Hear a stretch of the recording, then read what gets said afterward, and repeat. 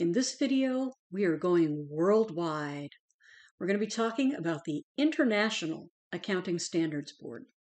Welcome to Accounting How To. I'm your host, Caroline Grimm. That's my sidekick, the very cosmopolitan Mr. Terrance T. Rex. We're here to put the fun in accounting fundamentals, or at least make it a little less dull, if that's at all possible, talking about IASB.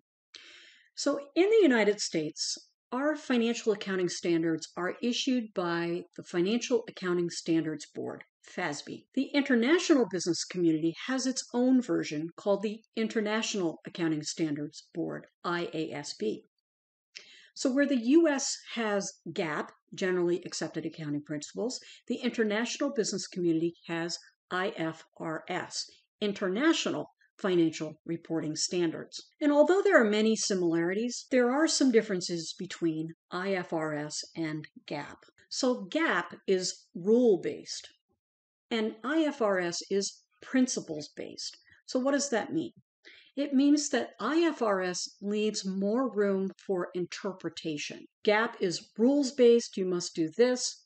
IFRS says, this is our guidance, and you can take it from there. You can interpret that as you see fit within reason. So, under IFRS, companies have more leeway in how they interpret the principles. And then, because they're interpreting principles, what they're going to do is they're going to use long disclosures on their financial statements to explain this is how we did it and this is why we did it. And they're going to do that for every interpretation that they make. Now, the purpose of, of IFRS is to maintain stability and transparency in the global business market. It's the standard in the European Union and many Asian and South American companies. Now, having the US switch to IFRS is discussed pretty regularly.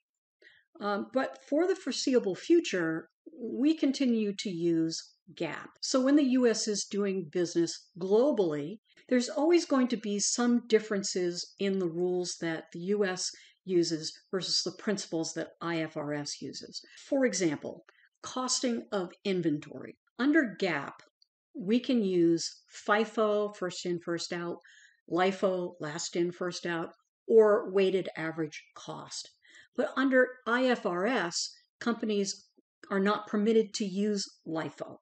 So if we have a company in the US that's using LIFO for their inventory basis, when we're talking about them operating globally, there are going to be some differences in the way that GAAP or IFRS are applied. So there may need to be some disclosures in financial statements where we say we use LIFO, but under IFRS, we would use FIFO, so this is what the amount of our inventory would be. But the whole purpose of the international accounting standards is so that the international business community has um, a set of rules that applies to everybody, and that allows them to apply those rules consistently wherever they're doing business.